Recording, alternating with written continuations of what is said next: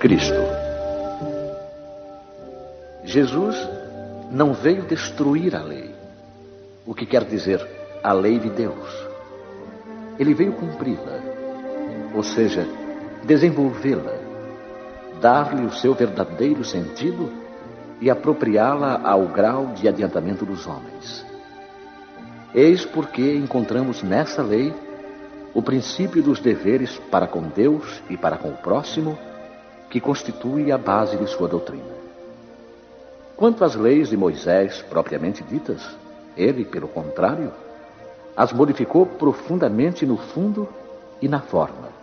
Combateu sem cessar o abuso das práticas exteriores e as falsas interpretações e não podia fazê-las passar por uma reforma mais radical do que reduzindo-as a estas palavras: amar a Deus sobre todas as coisas e ao próximo como a si mesmo.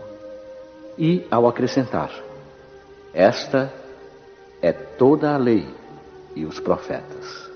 Por estas palavras, o céu e a terra não passarão enquanto não se cumprir até o último J Jesus quis dizer que era necessário que a lei de Deus fosse cumprida, ou seja, que fosse praticada em toda a terra, em toda a sua pureza, com todos os seus desenvolvimentos e todas as suas consequências. Pois de que serviria estabelecer essa lei se ela tivesse de ficar como privilégio de alguns homens ou mesmo de um só povo?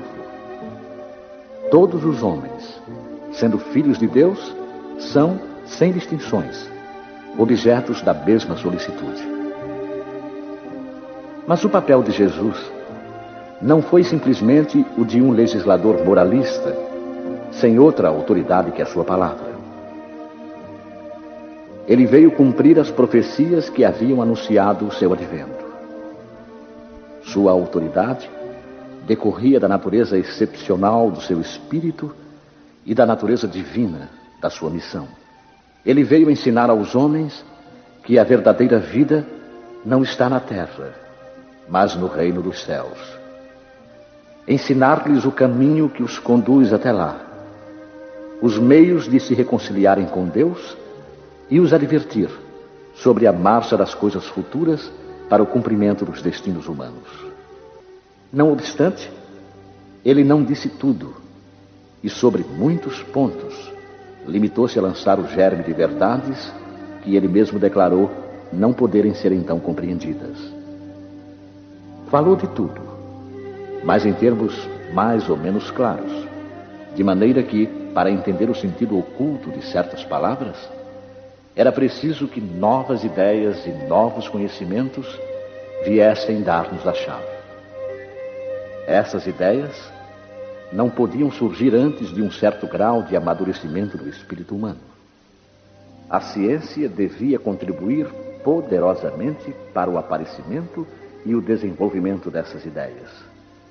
Era preciso, pois, dar tempo à ciência para progredir.